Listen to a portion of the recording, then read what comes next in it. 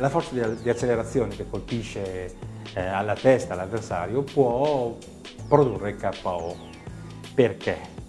Perché l'accelerazione che viene impressa dal colpo al cranio eh, viene principalmente impressa alla parte ossea, ah, mentre la, la, parte che possiamo considerare in, son, in sospensione all'interno, cioè il cervello, subisce un effetto, una forza esattamente contraria, una, decelerazione, praticamente viene schiacciato contro le pareti del cranio, in parole molto povere e semplici.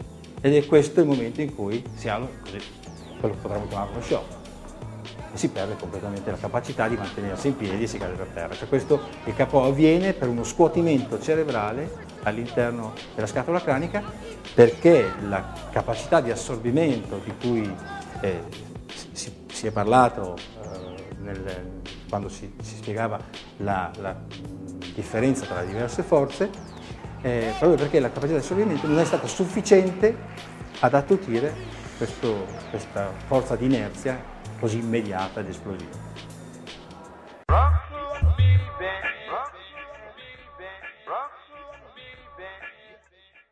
La sindrome da secondo impatto è una encefalopatia e, ed è causata da un trauma che segue a un altro trauma non ancora completamente recuperato.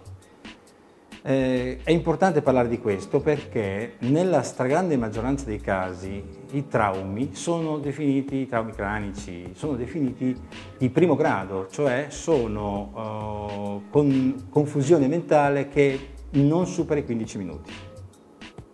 89%, potremmo dire il 90% dei casi è in questa categoria. Quindi il 90% dei casi passa inosservato, cioè non, non, non, si esegue nessun tipo di accertamento ulteriore ed è in questo caso che si potrebbe instaurare la sindrome da secondo impatto, cioè a dire si ha un primo trauma non così grave da comportare una perdita di coscienza, ad esempio, il soggetto continua l'attività, continua la gara, continua il combattimento, se non ha ancora però recuperato ver- veramente dal primo colpo ricevuto e riceve un secondo colpo.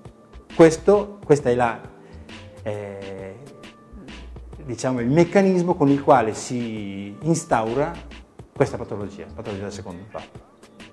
Visto che siamo in, diciamo, sul discorso, diciamo che se, se, i traumi sono per il 90% di primo grado, cioè con una semplice confusione mentale eh, inferiore a 15 minuti, eh, quelli di secondo grado sono circa il 9,5-10% e sono classificati così i traumi che comportano una, una eh, confusione diciamo, mentale di superiore a 15 minuti.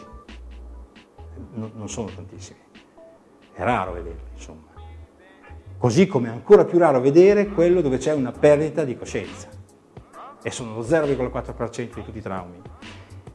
Ed è nella stragrande maggioranza dei casi è solo questa che arriva al medico e che arriva a fare un attacco, cioè la perdita di coscienza. Ed è per questo che molto spesso eh, la, il, il, il, soggetto non, mh, che ha avuto un trauma, che ha avuto un KO limitato o comunque non ben riconosciuto, può continuare a combattere. Questo sarebbe la cosa da evitare prima di tutte le altre.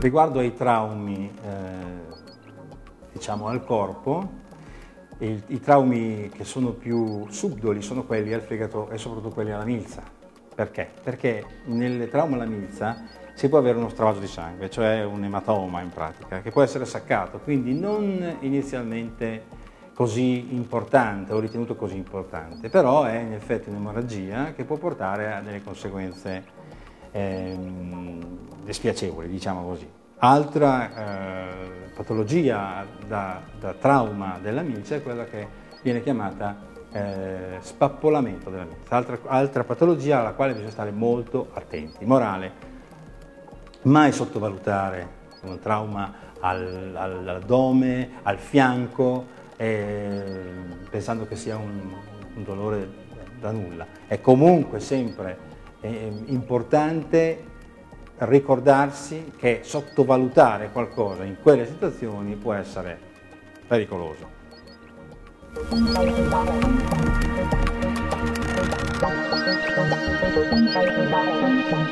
Le fasi susseguenti a un trauma sono la prima acuta e la seconda di riparazione o recupero.